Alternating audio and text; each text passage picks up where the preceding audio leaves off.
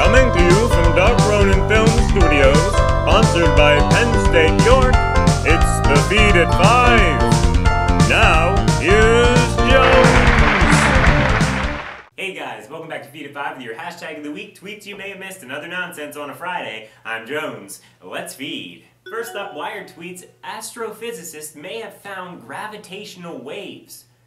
Or not. Does that mean people are gonna start saying heavy again? Is there a problem with Earth's gravitational pull? TechCrunch tweets online ad company MediaMath launches new unit focused on customer data. With a name like MediaMath, I guess so. Shouldn't they already be doing that? Oh, they must have started a website. CNBC tweets US Customs seizes 35k in counterfeit wearable tech. You know, like those fake Rolexes. What is that, only like three gold eye watches? Next up, Fortune tweets, new battery tech could stop hoverboard fires. That's great and all, but can we stop calling them hoverboards? And another thing, is there only one company who makes these or are they all faulty? Your hashtag of the week brought to you by Penn State York is, why not?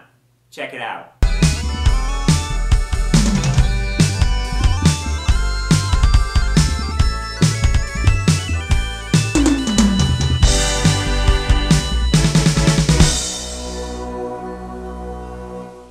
MarketWatch tweets Michael Dell in line to make billions as FCC buys back Airwaves. Buy low, sell high. Airwaves, the new real estate. People magazine tweets, here's proof you shouldn't try to kiss a python. We needed proof? Coming next week, proof you shouldn't swim with a polar bear. And last, Snoop Dogg tweets, I think Twitter needs me right about now. I'm standing on deck and waiting for a call. That makes two of us. I made a whole original show and still haven't seen that call. Alright everyone, that's our show. Thanks for stopping on by. Until next week, I'm Jones. Stay loud.